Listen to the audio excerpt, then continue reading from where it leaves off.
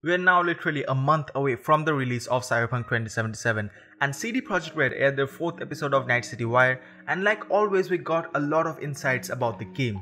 Hey everyone welcome to Gamer Connect, it's your guy Decker here and in this video we're going to talk about everything you need to know from Night City Wire episode 4.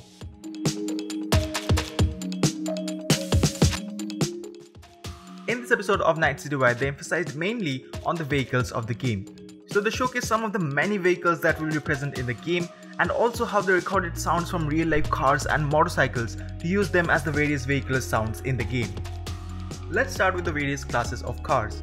The very basic class is the economic class and as goes by the name, these are the cars that are available for cheap and does not come with high-tech mods or neither do they look very impressive. But if you want to impress someone with your fancy looking car, then you have to go for the executive class. These are the cars where no expense have been spared and every possible thing in the car is equipped with the latest tech and equipment.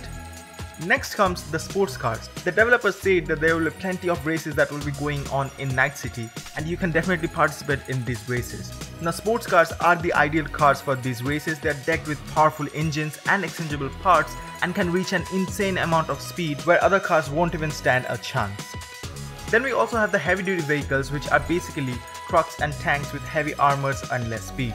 These are the vehicles you'll be going for when you'll be in need of a huge amount of power or protection from firearms.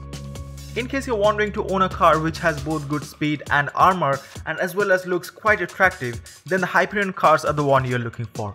These are the premium cars in the game and they are made up of really expensive materials with very precise bodywork. So all the cars in the game can either be purchased or stolen and after you own a car you can also summon them anywhere like Roach in Witcher 3.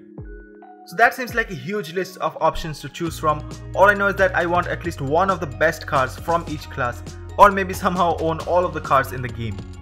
Apart from all these fancy cars, there will also be a classic car that you'll be able to see in the game which is a 911 Porsche from 1977 and is the car of Keanu Reeves' character Johnny Silverhand. Now with the bikes in the game, all their models are based on designs by Keanu Reeves' company which is ARC. And that's pretty much all about the various vehicles in the game. A very fascinating thing that CD Projekt Red showed in this episode was how they recorded sounds from original cars and bikes to implement in the game. They attached microphones to the engines, tires and exhaust to capture the pure and genuine sound of every vehicle. They even recorded the sound of the doors and windows opening and closing of every car. And I think that is a really huge effort coming in from CD Projekt Red, even for a game which is not entirely a racing game. At the later part of the episode, we also got some idea about the various fashion style that prevails in Night City.